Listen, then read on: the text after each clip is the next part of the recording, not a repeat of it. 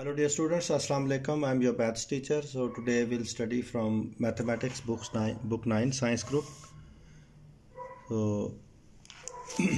we are on exercise 1.6 इससे पहले हमने इसके पाँच पार्ट किए थे क्रामर रूल के साथ।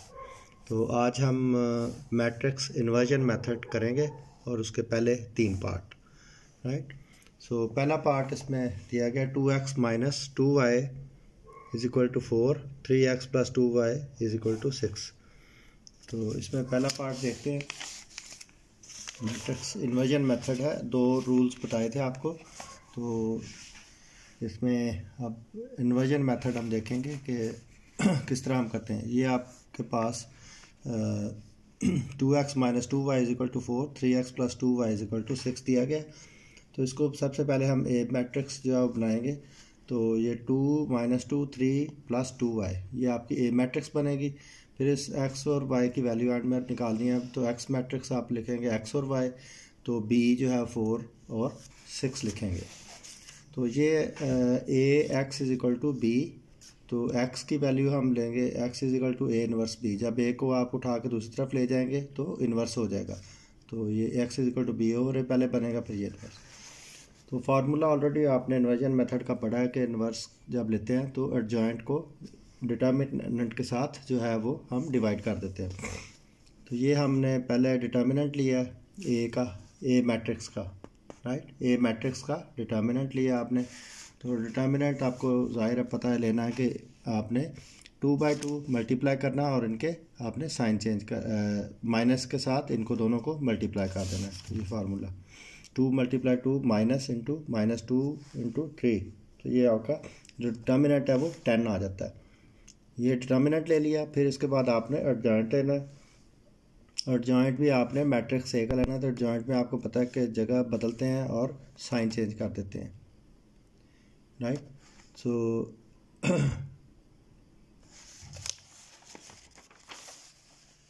यहाँ पे यहाँ पे इसका एडजॉइंट हमने लिया है। ठीक है? तो ये माइनस टू था तो वो प्लस टू हो गया और माइनस, प्लस थ्री था तो वो माइनस थ्री हो गया। तो ये डिटर्मिनेंट के साथ आपने ये डिवाइड कर दिया फार्मूले के मुताबिक। तो अब वन ओवर टेन को आपने मल्टीप्लाई कर देना मैट जो जॉइंट लिया हमने मैट्रिक्स का तो मल्टीप्लाई करने से आपके पास ये वैल्यू आ जाती है।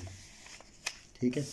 तो अब एक्स और वाई की वैल्यू आपने निकालनी है तो ए इनवर्स तो आपने निकाल लिया, ये आपका ए इनवर्स आया। इनवर्स के साथ आप जो वैल्यू आई है, उसको बी के साथ आपने मल्टीप्लाई करना है अकॉर्डिंग टू फार्मूला तो ये बी के साथ मल्टीप्लाई किया आपने। तो मल्टीप्लाई करने से ये सारा प्रोसेस टेन ओवर फाइव और ज़ीरो और फाइव आ जाता है। मतलब एक्स की वैल्यू आपके पास फाइव टू ज़ा टेन टू आ जाएगी और वाई की वैल्यू ज़ीरो आ जाएगी। ठीक है, ये पार्ट वन आपका। अभी हम पार्ट सेकंड देखेंगे। पार्ट सेकंड में two x plus y is equal to three six x plus five y is equal to one तो इसको भी वैसे ही करना है उसी मेथड के साथ आपने करना है। ठीक है, ये आपके पास दिया गया है। ये थर्ड पार्ट है।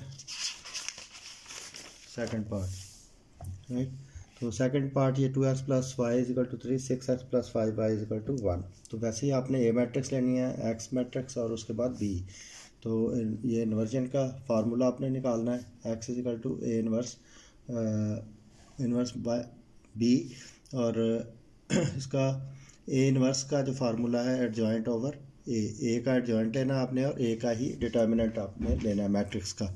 तो ये एडजॉइंट लिया आपने और ये इसका डिटर्मिनेंट ले लिया। डिटर्मिनेंट इसका फोर आया है हमारे पास। अब जो इनवर्स निकालने के लिए फार्मूला हम इस्तेमाल करेंगे तो एडजॉइंट ओवर ए डिटर्मिनेंट और उसको मल्टीप्लाई करती है। मल्टीप्लाई करने से आपके पास ये वैल्यू आ जाती है। फाइव और फोर इसको बी के साथ मल्टीप्लाई करेंगे। ठीक है? ए इनवर्स की वैल्यू ये आ गई, उसके बाद बी के साथ इसको मल्टीप्लाई किया। तो मल्टीप्लाई करने से आपके पास जो है वैल्यू सेवन ओवर टू और माइनस फोर आ जाती है। तो एक्स की वैल्यू सेवन ओवर टू और वाई की वैल्यू फोर ठीक है? इसको आप बार बार करेंगे तो आपको ये मेथड जो है वो समझ लग जाएगा। चलें। एक्सरसाइज वन पॉइंट सिक्स उसका थर्ड पार्ट जो मैट्रिक्स इन्वर्जन मेथड से हम करेंगे तो ये स्टेटमेंट है four x plus two y is equal to eight three x minus y is equal to minus one तो इसमें जैसा कि हमने पहले दो पार्ट किए हैं, उसमें आपने पहले मैट्रिक्स ए मैट्रिक्स लेनी होती है, फिर एक्स मैट्रिक्स एक्स और वाई की वैल्यू निकालनी है, हमने बी मैट्रिक्स ली हमने। ठीक है? Four two three minus one और एक्स और वाई उसकी वैल्यू लेनी है हमने और एट और माइनस वन आपकी बी मैट्रिक्स बनती है।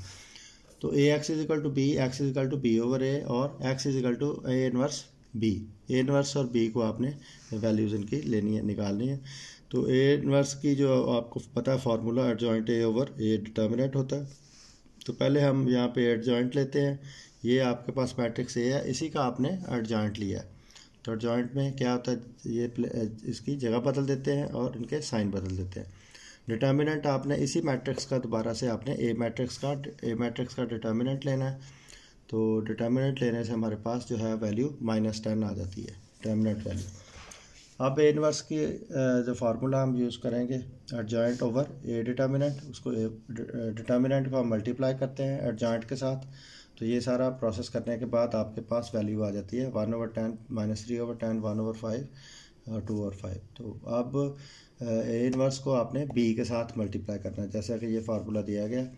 मल्टीप्लाई करने से आपके पास जो है सारी कैलकुलेशन के साथ वाई की वैल्यू यहाँ पे थोड़ा सा आपको देखना है, ये वाई की वैल्यू है और ये एक्स की वैल्यू आपके पास आई ठीक है? तो ये सारी कैलकुलेशन आपने बहुत ध्यान से करनी है। यहाँ से मुझसे भी थोड़ी सी माइनस की गलती हो गई थी तो आपने इसको देखना है कि प्लस माइनस जो है वो आगे पीछे ना हो ताकि आपका एंड में आंसर ठीक ना आए तो फिर वो आपको दोबारा से चेक करना पड़ेगा। तो लिहाजा जो साइंस है उनको अच्छे तरीके से आपने ऑपरेट करना है। Thank you very much